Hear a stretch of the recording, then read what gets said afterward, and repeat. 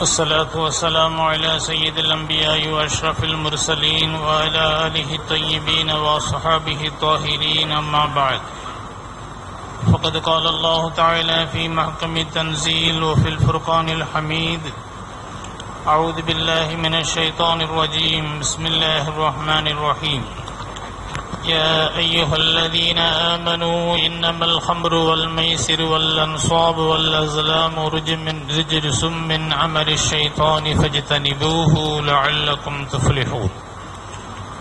إنما يريد الشيطان أن يوقع بينكم العداوة والبغضاء في الخمر والميسر ويصدكم عن ذكر الله وعن الصلاة فهل أنتم منتهون؟ قال النبي صلى الله عليه وسلم إن الله يحب المعالي الأمور وأشرفها صدق الله العلي العظيم وصدق رسوله النبي الكريم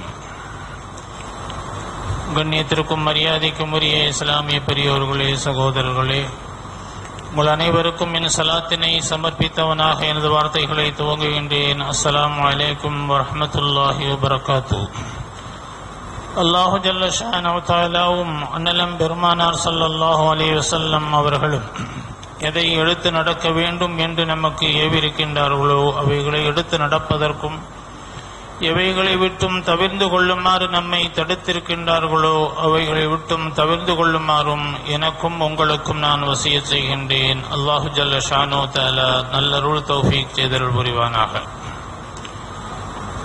மேற்குறிப்பிட்ட வசனத்தில் அல்லாஹு ஜல்லஷானோ தாலா விசுவாசிகளான நம்மை பார்த்து அல்லாஹ் கூறுகின்றான்.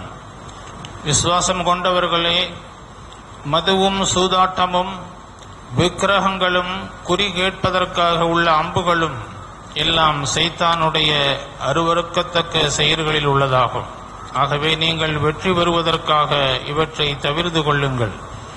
சைத்தான் விரும்புவதெல்லாம் மதிவினாலும் சூதாட்டத்தினாலும் உங்களிடையே பகைமையையும் வெறுப்புணர்ச்சியையும் உண்டாக்கி அல்லாஹுவை நினைவு கொள்வதை விட்டும் தொழுகையை விட்டும் உங்களை தடுப்பதற்காகத்தான் எனவே நீங்கள் இவற்றிலிருந்து விலகிக் கொள்கின்றீர்களா என்று நம்மை பார்த்து கேட்கின்றார் அந்நிலம் பெருமானார் சல்லல்லாஹு அலேவசல்லம் அவர்கள் கூறினார்கள் அல்லாஹு ஜல்லஷானாவு தாலாவிற்கு மிகவும் பிரியமானது எல்லா காரியங்களிலும் உயர்ந்த லட்சியத்தை உடையவர்களை அல்லாஹ் மிகவும் நேசிக்கின்றான் என்று எம்பெருமானால் சல்லல்லாஹு அலி வசல்லம் அவர்கள் கூறுகிறார்கள்.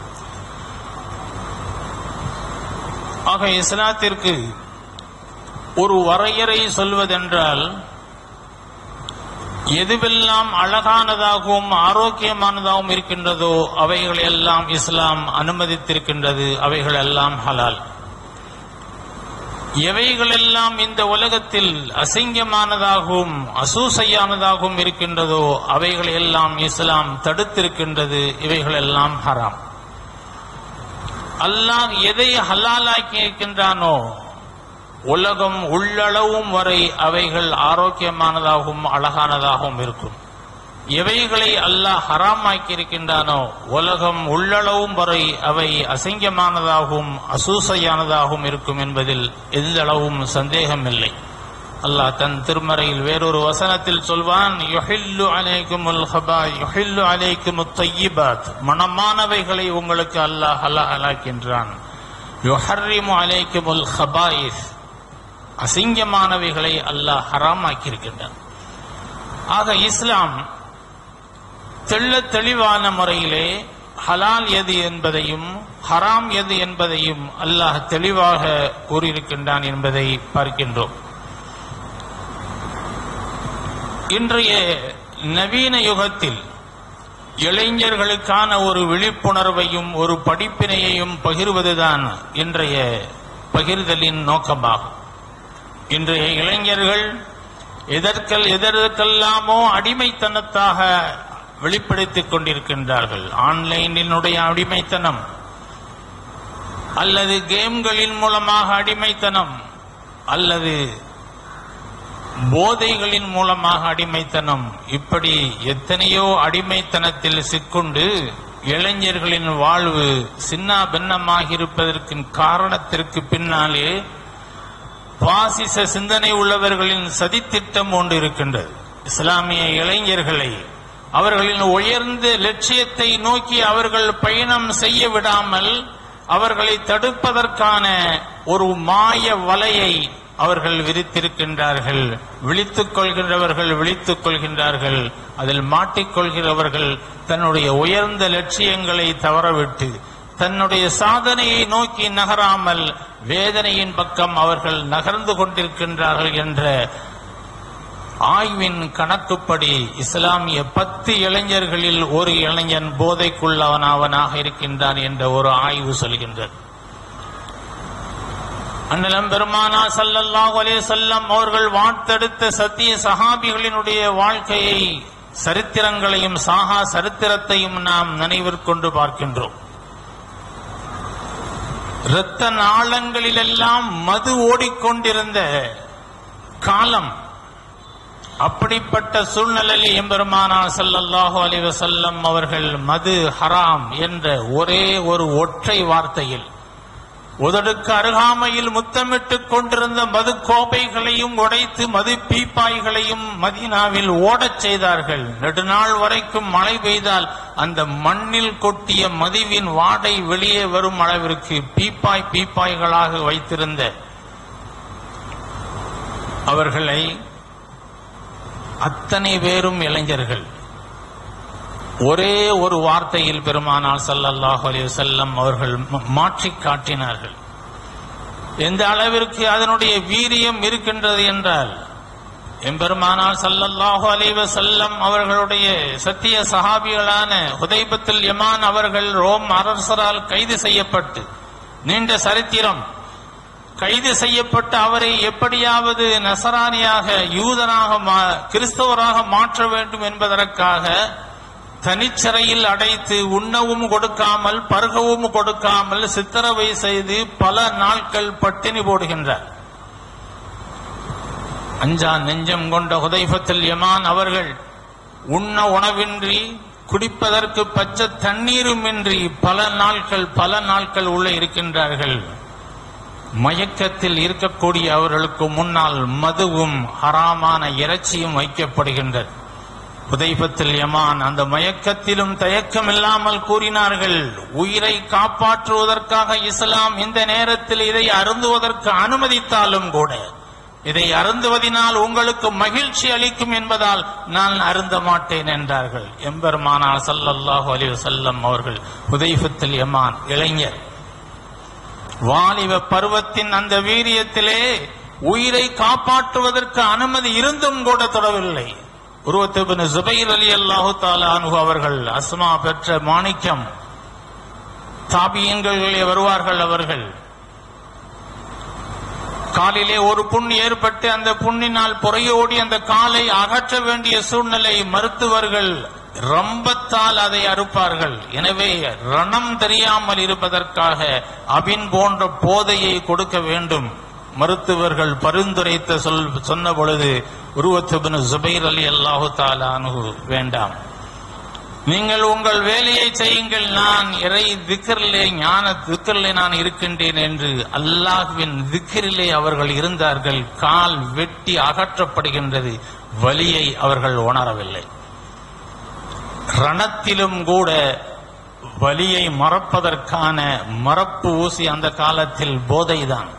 அதையும் அவர்கள் தொடவில்லை என்றால் எம்பெருமானால் சல்லல்லாஹு அலைஹி வஸல்லம் அவர்கள் உருவாக்கிய அந்த இளைஞர்களுடைய சாகா சரித்திரத்தை நினைத்து பார்க்கின்றோம். ஆக எது எதற்கெல்லாமோ அடிமையாக இருந்து சாதனை செய்ய வேண்டிய நேரத்திலே தியாகங்கள் செய்ய வேண்டிய நேரத்திலே அடுத்த சமுதாயத்தை இஸ்லாத்தை எழுச்சி கொண்டு வீறு நடை போடக்கூடிய இளைஞர்கள் இன்று எதன் எதன் பின்னால் எல்லாம் சென்று கொண்டிருக்கின்றார்கள் என்பதை வேதனை பதிவாக நாம் பதியப்படுகின்றேன். ஸ்பெயினிலே தாரிக் ஜியாத் என்பவர்கள் இளைஞர். ராணுவ வீரர்கள் எல்லாம் முப்பது வயதுக்குட்பட்ட இளைஞர்கள் உள்ளே நுழைந்து ஸ்பெயினை கைப்பற்றுகின்றார்கள். கிறிஸ்துவ பேராசிரியர் எழுதுகின்றார் நாடு பறிபோவதை பற்றி அவர் எழுதவில்லை. நாடு தன்னுடைய கையை விட்டும் இஸ்லாமியர்களுக்கு கைக்கு மாறுவதை பற்றி அவர் எழுதவில்லை. அவர்கள் இந்த ராணுவ வீரர்களை பற்றி எழுதுகின்றார்கள். ஹபத்து மின சமாய் அம் நபத்து இந்த ராணுவ வீரர்கள் வானத்திலிருந்து குதித்தவர்களா? பூமியிலிருந்து விளைந்தவர்களா? அப்படிப்பட்ட ஒரு ஒழுக்கம். இஸ்லாமிய ஒழுக்க ராணுவம் என்றாலே அத்துமீறல்களும் அநியாயம் செய்வதும். ஏனென்றால் அவர்கள் ஆயுதம் வைத்திருக்கின்றார்கள். மக்கள் ஆய நிராயுதபாணியாக இருப்பார்கள். எதை வேண்டுமானாலும் செய்யலாம். அப்படி இருக்கவர்களுக்கு மத்தியிலே இந்த ராணுவத்தை பற்றி அவர் எழுதுகின்றார். வானத்திலிருந்து குதித்தவர்களா பூமியிலிருந்து முளைத்தவர்களா? அப்படி ஒரு அறம் போதிக்கக்கூடிய ராணுவ வீரர்கள். ரோமினுடைய படை ஐந்து லட்சம் பேர்கள் குறைந்த எண்ணிக்கை முப்பதாயிரம் பேர் கொண்ட ஹாலிது பின் வலீத் அவர்களுடைய படை ஜெயித்துக் கொண்டே இருக்கின்றது. ஒவ்வொரு நாளும் போர் நடக்கும். உளவாளிகளை வைத்து அரசர் உளவறிய செய்கின்றார் படை பலத்திலும் நாம் அதிகம் ஆயுதத்தாலும் நாம் அதிகம். ஏன்? தினமும் வெற்றி அவர்களின் பக்கம் இருக்கின்றது. உளவாளிகள் உளவறிந்து சொல்கின்றார்கள். இரவெல்லாம் நம்முடைய வீரர்கள் மதுவிலும் மாதுவிலும் மயங்கி கிடக்கின்றார்கள். ஆனால் இஸ்லாமிய வீரர்கள் இரவு நேரத்திலே நின்று அழுது தொழுது அல்லாஹ்விடம் பிரார்த்திக்கின்றார்கள். ஆக வெற்றி யாரினுடைய கையில் இருக்கின்றது என்றால் அந்த வீரர்கள் எல்லாம் இளைஞர்கள். இஸ்லாமிய சரித்திரத்தை பெருமானா சல்லல்லாஹு அலைஹி வஸல்லம் அவர்கள் சொல்வார்கள் நான் இஸ்லாத்தை எடுத்துரைத்த பொழுது முதியவர்களும் பெரியவர்களும் என்னை ஏற்றுக்கொள்ளவில்லை. என்னை ஆதரித்தவர்கள் எல்லாம் இளைஞர்கள் தான். அபூபக்கர் சித்திக் அலி அல்லாஹ் தாலானு இஸ்லாத்தை ஏற்ற பொழுது முப்பத்தி எட்டு வயது. அலி அலி அல்லாஹு தாலானு ஏற்ற பொழுது பத்து வயது. ஜெயிதர் அலி அல்லாஹு தாலானு ஏற்ற பொழுது பதினோரு வயது. எம்பெருமானார் சல்லல்லா ஒலிய செல்லம் அவர்கள் மொஹாதிபின் ஜபல் அலி அல்லாவு அவர்களை யமனுக்கு கவர்னராக அனுப்புகின்றார்கள். ஒரு நாட்டிற்கு நீதிபதியாகவும் கவர்னராகவும் அனுப்பும் பொழுது அவருடைய வயது இருபத்தி ஆறு இப்னு அப்பாஸ் ரலியல்லாஹு தஆலாவுக்கு பெருமானார் சல்லல்லா அலைஹி செல்லமுடைய வஃத்திற்கு பின்பு அவருடைய வயது பதிமூணு. உமர் அலி அல்லாஹு தாலானு ஆட்சி காலத்திலே தன்னுடைய அருகாமையில் அவர்களை அமர்த்தி வைப்பார்கள். குர்ஆனுடைய ஞான பொக்கிசம் விளக்கங்கள் அமைச்சரவை அமைச்சரவையில் பாசாக்கப்பட்ட சட்டத்தை அதை ஒப்புக்கொள்வதற்கு அன்னை ஆயிஷா சித்திகா அவரிடமும் அந்த நகல் சென்று வரும். இபுன் அப்பாஸ் அலி அல்லாஹ் என்ற சிறுவரிடமும் சென்று வரும். ஐஷா சித்திகா அலி அல்லாஹு தாலா அன்ஹா அவர்கள் ரசூலுடைய வஃபாத்தின் போது பதினெட்டு வயது இரண்டாயிரத்தி இருநூறு ஹதீஸ்களை அறிவித்திருக்கின்றார்கள். அமைச்சரவையில் பாசாக்கப்பட்ட சட்டத்தை சரிபார்ப்பதற்கு பதினெட்டு வயது ஒரு நங்கையிடம் செல்கின்றது என்றால் இளைஞர்களை பெருமானார் ஸல்லல்லாஹு அலி செல்லம் அவர்கள் எப்படி செதுக்கி செப்பனிட்டிருக்கின்றார்கள் என்பதை நாம் பார்க்கின்றோம். பதிரி யுத்தம் சங்கடமான ஒரு சூழ்நிலையில் போர் திணிக்கப்பட்டிருக்கின்றது முஸ்லிம்களுக்கு மத்தியில். சஹதுபின் அபி வக்காஸ் ரதி அல்லாஹு தாலா அனுகு அவர்கள் சொல்கின்றார்கள் எனது சகோதரர் உமைரிபின் அபி வக்காஸ் அவர்கள் சத்திய சகாபிகளுக்கு மத்தியிலே ஒளிந்து ஒளிந்து தன்னை மறைத்துக் கொள்கின்றார். என்னுடைய சகோதரனை பார்த்து ஏன் நீ மறைந்து மறைந்து நிற்கின்றாய்? என்று சொன்ன பொழுது உமைரிபின் அபி வக்காஸ் கூறுகின்றார் என்னை பெருமானார் சல்லல்லாஹ் அலைய செல்லம் அவர்கள் பார்த்து விடக்கூடாது என்பதற்காக நான் மறைந்து நிற்கின்றேன். என்னை பார்த்தால் நீ சிறுவன் என்று இந்த படையில் இருந்து என்னை விலக்கி விடுவார்கள். நான் நிரம்ப ஆசையோடு வந்திருக்கின்றேன். இந்த தீனை ஹயாத்தாக்குவதற்கும் தீனை உயிர்ப்பிப்பதற்கும் இந்த தீனை நிலைநாட்டுவதற்கும் என் என் உயிரை இந்த யுத்தத்திலே நான் ஷகீதாக்க வேண்டும் என்ற ஆசையோடு நான் வந்திருக்கின்றேன். அண்ணலம் பெருமானார் பாஸ் பார்த்து விட்டால் என்னை போர்க்களத்திலிருந்து நீக்கி விடுவார்களே என்று நான் பயந்து ஒளிந்து கொண்டுகின்றேன் என்றார். ஆனால் பெருமானார் பார்த்து விட்டார்கள் அந்த யுத்தத்திலிருந்து நீக்கினார்கள். ஆனால் அழுது அடம் பிடித்து எந்த கருணைக்காக அந்த போரிலிருந்து நீக்கினார்களோ இப்பொழுது அவர் அழுத அழுகையின் காரணமாக மீண்டும் பரிதாபப்பட்டு உமைருபின் அபி வக்காஸை யுத்தத்தில் சேர்த்தார்கள். அதே யுத்தத்திலே உமைருபின் அபி வக்காஸ் ரதி அல்லாஹு தாலானு அவர்கள் வீர மரணம் அடைந்து ஷஹீதுடைய பதவியை அடைந்தார்கள் என்றால் இளைஞர்களின் செங்குருதியால் பாய்ச்சப்பட்ட இந்த இஸ்லாமிய மரம்தான் இன்று வானளாவி விரிந்து இருக்கிறதுக்கென்றால் அதனுடைய ஆணிவாருக்கு பாய்ச்சப்பட்டது இளைஞர்களுடைய ரத்தம் என்பதை பார்க்கின்றோம். இன்றைய இளைஞர்களுடைய சிந்தனை எங்கள் எங்கே? அவருடைய தியாகங்கள் எங்கே? அவருடைய ஒதுங்கும் ஸ்தலங்கள் எங்கே? மஸ்ஜிதிலே தொழுகையினுடைய வரிசைகளிலே எத்தனை இளைஞர்கள் இருக்கின்றார்கள்? ஒவ்வொரு மஸ்ஜிதும் தேடி பார்த்தாலும் இளைஞர்களுடைய சஃபுகளை காணவில்லை. ஆக இந்த இஸ்லாத்திற்காக வேண்டி அர்ப்பணித்தவர்கள் எல்லாம் இளைஞர்கள் தான் தன் உயிரை இஸ்லாத்திற்காக மாய்க்க வேண்டும் என்ற அந்த தியாக உணர்வு.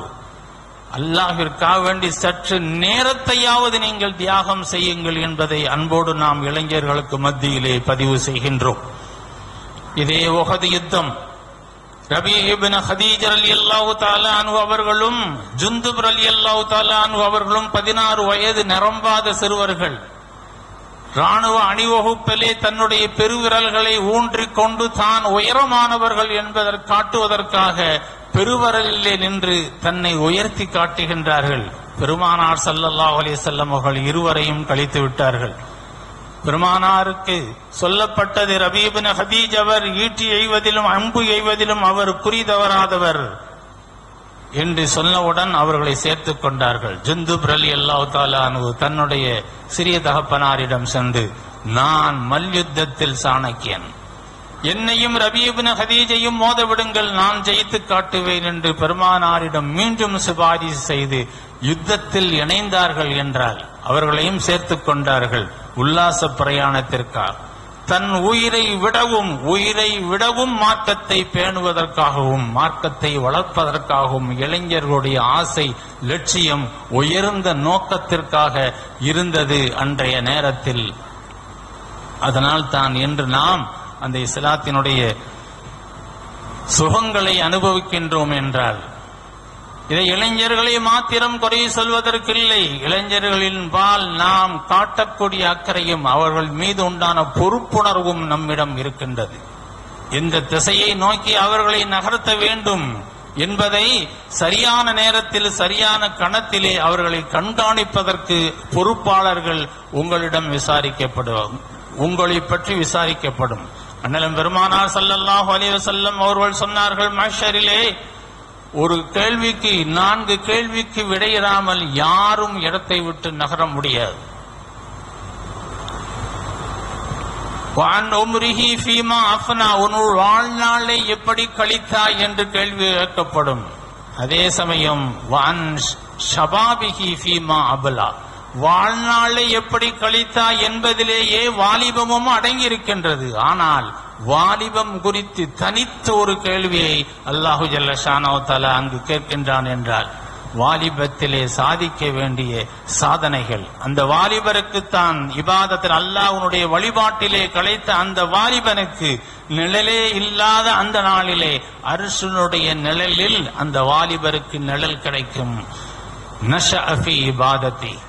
அல்லாஹு ஜல்லஷானோ தாலா வாலிபத்திலே இறை வழிபாட்டிலேயும் இறை சிந்தனையிலேயும் கழித்தக்கூடிய அந்த வாலிபன் முதுமை அடைந்து இளமையில் செய்யக்கூடிய அளவிற்கு அமல் செய்ய முடியாமல் இருக்கும் பொழுது அல்லாஹ் மலக்குமாரை பார்த்து சொல்வான் அவர் இளமையிலே அதிகம் அமல் செய்தவர். அந்த நேரத்தில் என்ன அமல்கள் எல்லாம் செய்தாரோ அந்த அமல் இன்றும் செய்த மாதிரி நீ பதிவிடுவாயாக என்று மலக்குமார்களுக்கு உத்தரவிடப்படும்.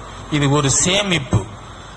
அல்லாஹ் இது ஒரு நல்ல சந்தர்ப்பமாக அல்லாஹ் தந்திருக்கின்றான் இரண்டு பலகீனத்திற்கு மத்தியில் ஒரு கவி அல்லாஹ் தன் திருமறையிலே சொல்வான் அல்லாஹ் الذي خلقكم من ضعف ثم جعل من بعد ضعف قوة ثم جعل من بعد قوة لعبا وشيفا எனவே குழந்தைத்தனமும் ஒரு பலகீனம் வயோதிகமும் ஒரு பலகி பலகீனம் இந்த பலகீனத்திற்கு மத்தியிலே வாலிப பருவம் ஒரு குவத் ஒரு பவர்ஃபுல்லான ஆளுமையில் உள்ளது என்று அல்லாஹ் தன் திருமறையிலே கூறுகின்றார் எம்பெருமானார் சல்லல்லாஹோ அலைஹி செல்லம் அவர்கள் தன் நபித்துவத்தை பறைசாற்றும் பொழுது ஒவ்வொரு நபிமார்களும் ஒரு மொழிசாவை முன்னிறுத்தினார்கள். முசாலி இஸ்லாம் அவர்கள் தன் கையில் உள்ள கம்பை பாம்பாக மாற்றி காட்டினார்கள்.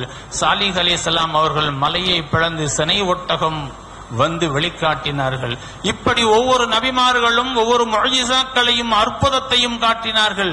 எம்பெருமானார் சல்லல்லாஹு அலி செல்லம் அவர்கள் தான் நபி என்பதையும் ஏகத்துவத்தையும் எடுத்துச் சொன்ன பொழுது அதற்கு என்ன ஆதாரம் என்று சொன்ன பொழுது என்னுடைய வாலிப பருவம் உங்கள் முன்னால் கழிந்தது.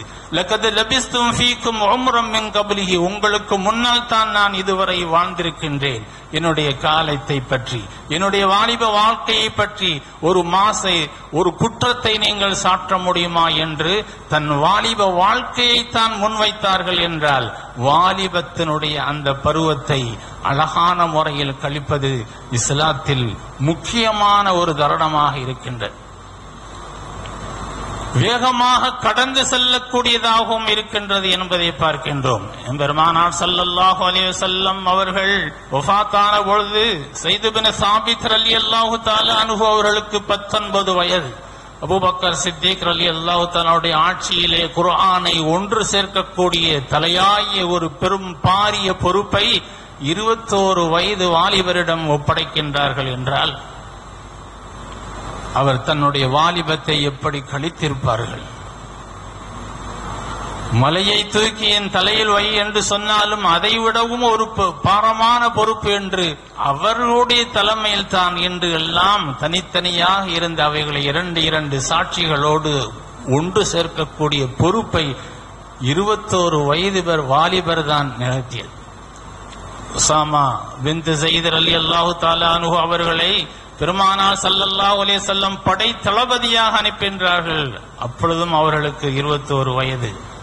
அபுபக்க சித்திக் அலி அல்லாஹு அன்ஹு உமர் அலி அல்லாஹு எல்லாம் படையினுடைய சாதாரண படை வீரர்களாக இருக்க 21 வயது வாலிபரை தான் தளபதியாக்கினார்கள் என்றால் அந்த வாலிப பருவம் மிகவும் ஆளுமை மிக்க ஆற்றல் மிக்க ஒரு பருவமாக இருக்கின்றது. அல்லாஹு ஜல்லஷானோ தாலா தன் திருமறையிலே குகை வாசிகளை சொல்லும் பொழுது இது அவல் ஃபித்யத்து இலல் காஃபி. குகை தோழர்களான குகைவாசிகளான அந்த வாலிபர்கள் என்று குறிப்பிடுகின்றார். அந்த வாலிபர்கள் எதற்காக ஊரை விட்டு போனார்கள்? அல்லாஹ் அக்கிரமக்கார விக்கிரக தொழும்பனான அந்த அரசனினுடைய ஆட்சியை பிடிக்காமல் அல்லாஹுவை வணங்க வேண்டும்.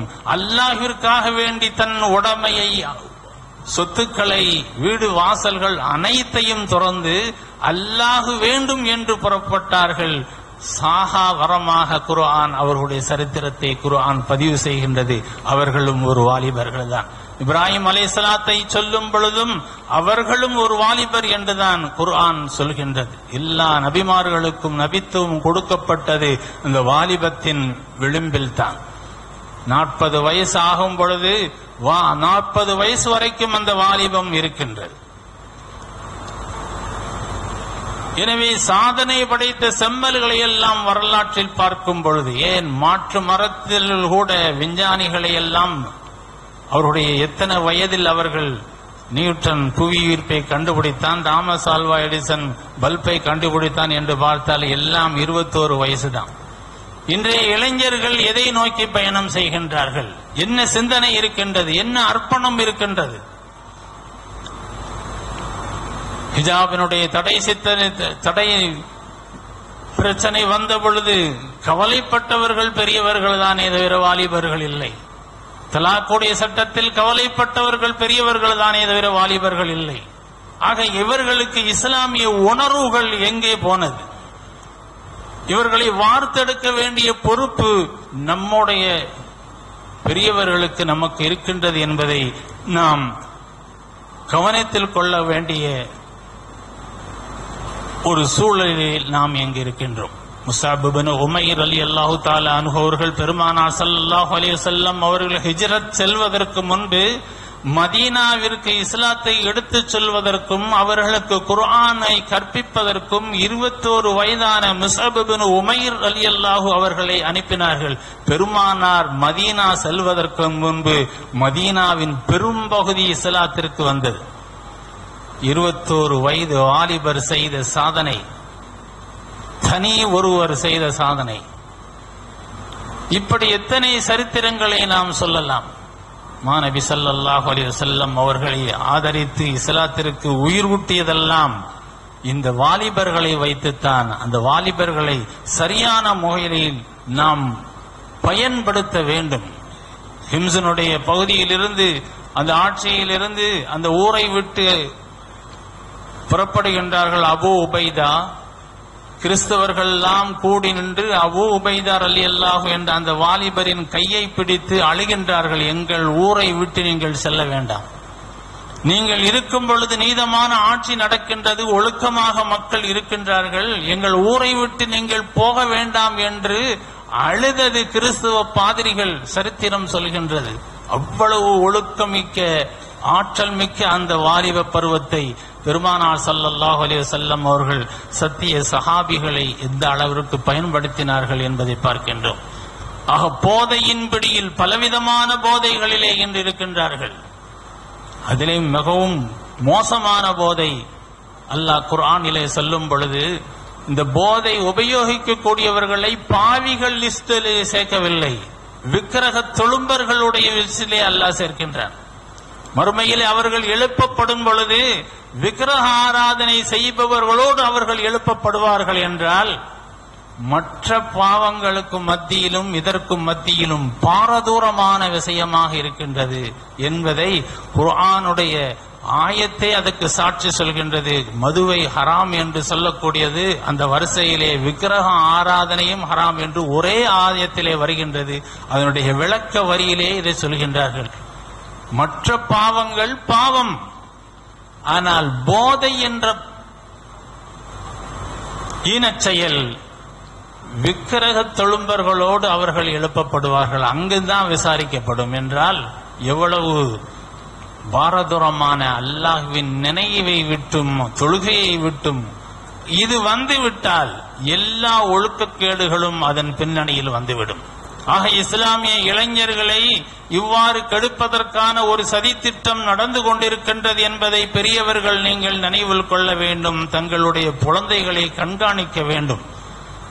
கணக்கெடுப்பின்படி மீண்டும் நினைவுறுத்ததற்காக நான் பதிவு செய்கின்றேன். பத்து வாலிபர்களில் ஒருவர் போதைக்கு அடிமையாக இருக்கின்றார் என்பது பதிவு.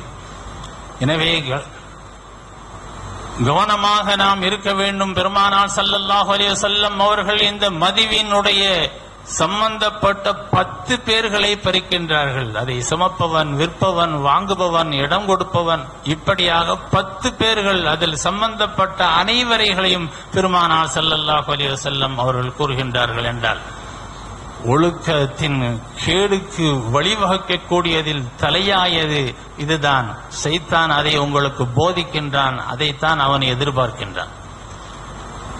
மதியை மட்டுமல்ல ஆண்மையையும் ஆளுமையையும் நீக்கி நம்முடைய சாதனையை நோக்கி நகர் விடாமல் நம்மை தடுத்து நிறுத்தி விடுகின்றது என்று இந்த வசன விளக்கத்திற்கு விளக்கம் சொல்கின்றார்கள். சவுதியிலே இஸ்லாமிய ராபிதாவிலே ஒரு மாற்று மத பெண் தன் மகனை அழைத்து மகனை இஸ்லாத்தில் இணைத்து விடுமாறு கேட்கின்றாள். அவர்களுக்கு நீங்கள் இஸ்லாத்தில் வரவில்லையா இல்லை நான் வரவில்லை என் மகன் தான் இஸ்லாத்துக்கு வரணும். ஏன் காரணம் என்று கேட்ட பொழுது அவருடைய நண்பர்கள் எல்லாம் இஸ்லாமியர்களாக இருக்கின்றார்கள். அவரிடத்திலே எந்த விதமான கெட்ட பழக்கமும் இல்லை. நல்லொழுக்கமாக இருக்கின்றார்கள். அந்த நல்லொழுக்கத்திலே என் மகன் வளர வேண்டும் என்று நான் பிரியப்படுகின்றேன் என்று அந்த தாய் சொல்கின்றாள். தாய் மாறவில்லை. ஆனால் மகனை அவருடைய நண்பர்களுடைய ஒழுக்கத்தை பார்த்து தன் மகனும் இஸ்லாத்தில் ஆக வேண்டும் என்று கேட்கின்றார்கள். இன்னொரு பத்வா கமிட்டியினுடைய ஒரு சேனலிலே போனின் மூலமாக கேள்வி கேட்பார்கள் ஒருவர் கேள்வி கேட்கின்றார். நான் மது அருந்துவதில்லை. ஆனால் நான் ஒரு சூப்பர் மார்க்கெட்டில் வேலை செய்கின்றேன். மது பாட்டில்களை கொண்டு சென்று ஒப்படைக்க வேண்டிய பொறுப்பு என்னிடத்தில் இருக்கின்றது. இந்த வேலையை தொடரலாமா என்று சொன்ன பொழுது ஃபத்துவா கமிட்டி சொல்கின்றது இந்த வேலையில் நீங்கள் நீடிக்க வேண்டாம் என்று. ஆக சுமந்து செல்வதும் அதற்கு எந்த வகையிலும் சம்பந்தப்பட்டதும் மார்க்கத்தில் தடுக்கப்பட்டிருக்கின்றது. பெருமானார் சல்லல்லா அலி செல்லம் சொன்னார்கள் ஏற்கனவே அந்த மதுவை குடித்து கொண்டிருந்த அந்த மது குப்பிகள் இருக்கல்லவா மது ஜாடிகள் அதையும் கூட உபயோகிக்க கூடாது என்றார்கள். என்றால் அதை பார்த்தால் அந்த ஞாபகம் வரும் என்பதற்காக. ஆக எதெல்லாம் பாவத்திற்கு துணையாகவும் பாவத்தை நினைக்கக்கூடியதாகவும் இருக்கின்றதோ அவைகளை எல்லாம் பெருமானார் சல்லல்லாஹு அலைஹி வஸல்லம் அவர்கள் நமக்கு தடை செய்திருக்கின்றார்கள் என்பதை பார்க்கும் பொழுது இன்றைய இளைஞர்களுக்கு நாம் கண்காணிக்க வேண்டிய ஒரு சூழ்நிலையில் காலகட்டத்தில் நாம் வாழ்ந்து கொண்டிருக்கின்றோம். பலவிதமான பயிற்சி அளிக்கப்பட்டவர்களால் இஸ்லாமியர்கள் வழி தவற கூடிய வாய்ப்பிலே இருக்கின்றார்கள். பெருமானார் சல்லல்லாஹு அலைஹி செல்லம் அவர்கள் கூறினார்கள் சையதி அலன்னாசி ஜமானுன் அஸ்ஸாபிரு அலா தீனிஹி கல் காபிலி அலல் ஜமர். ஒரு காலம் வரும் அந்த காலத்தில் ஒரு இஸ்லாமியன் இஸ்லாமிய ஒழுக்க நெறியோடு வாழ்வதென்பது உள்ளங்கையில் நெருப்பை வைத்துக் கொண்டிருப்பது போல. அப்படிப்பட்ட நேரத்தில் ஒருவன் இஸ்லாமிய ஒழுக்கத்தோடும் அதனுடைய பேணுதலோடும் வாழ்வதென்பது அப்படி வாழ்ந்தால் உங்களில் சஹாபிகளை பார்த்து கூறினார்கள் உங்களில் ஐம்பது பேர் செய்யக்கூடிய நன்மை அவர் ஒரு நன்மை செய்தால் அந்த ஒரு நன்மைக்கு உங்களில் ஐம்பது பேருடைய நன்மை அவர்களுக்கு கொடுக்கப்படும். சஹாபிகளுக்கு ஆச்சரியமாக இருந்தது. நம்மில் ஐம்பது பேர்களா? ஹம்சூன மின்னா அம் ஹம்சீன மின்கும். அவர்களில் ஐம்பது பேருடைய கூலியா? எங்களில் ஐம்பது பேருடைய கூலியா என்று கேட்ட பொழுது பெருமானா சல்லாஹ் அலைஹி வஸல்லம் சொன்னார்கள் ஹம்சூன மின்கும் உங்களில் ஐம்பது பேர். சஹாபிகளுக்கு மீண்டும் ஆச்சரியம். ஏன்? எதனால் இந்த சிறப்பு? பெருமானார் சல்லல்லாஹு அலைஹி வஸல்லம் அவர்கள் சொன்னார்கள் இன்னக்கும் சதஜிதூன அலல் ஹைரி ஆவானன். நீங்கள் திரும்பிய பக்கமெல்லாம் நன்மையை தூண்டக்கூடிய விஷயத்தை பார்க்கின்றீர்கள். எங்கு திரும்பினாலும் நன்மையை தூண்டக்கூடிய விஷயம் நிகழ்ந்து கொண்டே இருக்கின்றது. ஆனால் ஒகும் லா எஜிதூனகும் எங்கு திரும்பினாலும் ஆபாசங்களும் அசிங்கங்களும். அப்படிப்பட்ட சூழ்நிலையில் ஒருவன் இஸ்லாமிய ஒழுக்க விழுமியங்களோடு வாழ்வானேயானால் சஹாபிகள் ஐம்பது பேர் செய்த நன்மை உங்களில் ஒருவருக்கு கிடைக்கின்றது என்றால் ஆக ஒரு அந்த காலம் வெகு தூரத்தில் இல்லை அந்த காலத்தில் தான் நாம் வாழ்ந்து கொண்டிருக்கின்றோம் திரும்பிய பக்கமெல்லாம். எல்லா இடத்திலையும் வலைத்தளங்களாக இருந்தாலும் சரி எதுவிலெல்லாம் எதையெல்லாம் நீங்கள் கிராத்து கேட்கறதுக்காண்டி ஒரு சேனல் திருப்பினா வேற ஒரு குப்பையும் சேர்ந்து தான் வந்து விழும். அப்படிப்பட்ட சூழ்நிலையில் இளைஞனாக இருக்கிறவன் எந்த நோக்கத்துக்காக போனானோ அதை விட்டுவிட்டு அவன் வேற நோக்கத்திற்கு திரும்பக்கூடிய ஒரு பாதகமான சூழ்நிலையில் தான் நாம் இருக்கின்றோம். எனவே இளைஞர்கள் மஸ்ஜிதோடும் உலமாக்களோடும் குர்ஆனோடும் தொடர்பு கொண்டு இருக்கக்கூடிய காலமெல்லாம் அவர்கள் வழி தவற மாட்டார்கள் என்பது பெருமானார் சல்லல்லாஹ் அலைஹி செல்லம் அவர்கள் நமக்கு சொன்னது. ஆக இப்படி சரித்திரத்திலே தடயம் வைத்த சஹாபிகளுடைய வாழ்க்கையையும் நாம் உங்களுக்கு முன்னால் வைத்தோம். எப்படிப்பட்ட ஒரு சூழ்நிலையிலும் அவர்கள் சமரசம் செய்து கொடுக்காம செய்யாமல் இஸ்லாமிய சட்டத்திற்குத்தான் அவர்கள் உரிமை கொடுத்தார்கள் அதை மதித்தார்கள் அதனால் அவர்கள் வென்றார்கள். அதனால் அவர்கள் ஆட்சியானார்கள். அகதியர்களாக மதீனா சென்றவர்கள் பல லட்ச சதுர கிலோமீட்டர்களுக்கு ஜனாதிபதியானது அவர்களுடைய ஒழுக்கத்தின் உயர்வினால் தான் என்பதை நாம் பார்க்கின்றோம். எனவே இளைஞர்களே இது மோசமான காலத்தில் நீங்கள் வாழ்ந்து கொண்டிருக்கின்றீர்கள். படிப்பும் பதவியும் மாத்திரம் நமக்கு லட்சியம் அல்ல நாளை மாஷரிலே இந்த இளமையை குறித்துத்தான் உங்களுக்கு கேட்கப்படும். எனவே இந்த நேரத்திலேயே நீங்கள் உணர்ந்து இஸ்லாத்திற்காக வேண்டி நேரத்தையாவது தியாகம் செய்து அல்லாஹ்வின் மஸ்ஜிதோடு தொடர்பு வைத்துக் கொள்ளுங்கள். அல்லாஹ் நம் அனைவரையும் இருலோகத்திலும் நர்பாக்கியவான்களோடு கூட்டத்தோடு சேர்த்தருள் புரிவானாக வாஹில் தாவானான் அல்ஹம்துலில்லாஹி ரபில் ஆலமி